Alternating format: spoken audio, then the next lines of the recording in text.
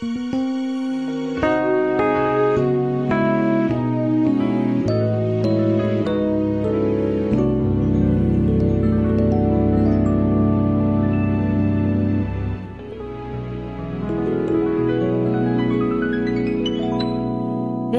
a spark